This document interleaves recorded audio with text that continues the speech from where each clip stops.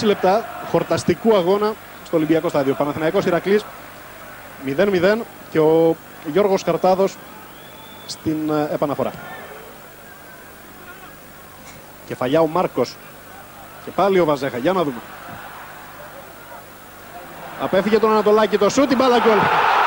Οι φόβοι του Γρηγόρη δεν επαληθεύτηκαν. Ο Παναθηναϊκός το 26 με τον ε, Βαζέχα που ξεσπάει. Παίρνει το προβάδισμα στο σκορ. Ο Πολωνός σκοράρει και πρώτο σκόρερ εξημισίας με τον ε, Αλέξη Αλεξανδρή.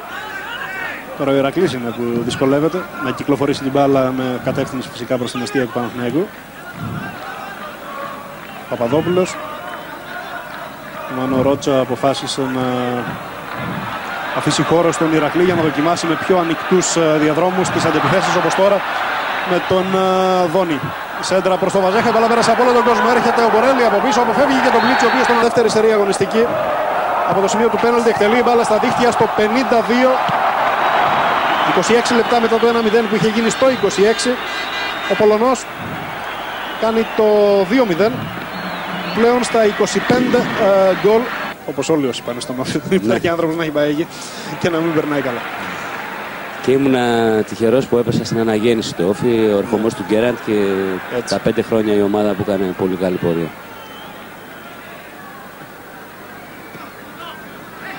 Βαζέχα. Αλεξούδης μέσα σε αποθέωση. Μαραγκός πήρε την μπάλα από τον ε, Γεωργιάδη.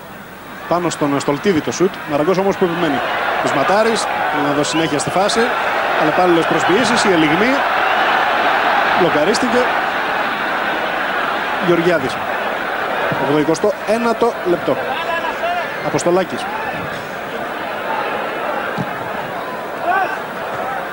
Ο Μάρκος δεν μπόρεσε να αξιοποιήσει αυτή τη γιώμα του στράτου του Αποστολάκη. Ο Ουζουνίδης, ο Κολιτσιδάκης.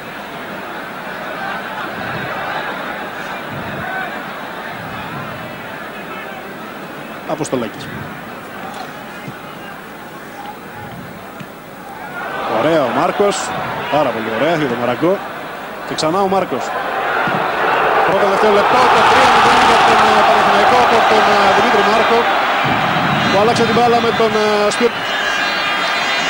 Ο Δημήτρης Μάρκος που φτάνει στα 3 γκολ στην εφετινή περίοδο και 7 στην καριέρα του στην ε, πρώτη εθνική και να σκοράρει ένα μήνα από το μάτς με την ε, Καβάλα εδώ στο Ολυμπιακό Στάδιο. Γίνεται ο σκόρερ του Παναθηναϊκού.